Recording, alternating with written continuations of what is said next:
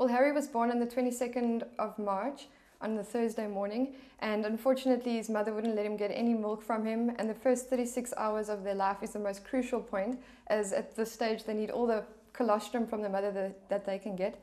So after a few hours of leaving him with his mother, we decided to pull him as it was better for him. And he's very strong, he's very healthy, everything's going really well. Well, the pygmy hippo is a rare and endangered species. So for us to have bred one at the Cango Wildlife Ranch is a huge success. There's only 16 of them in South Africa in facilities at the moment. So we're really happy to welcome this little bundle of joy into our family.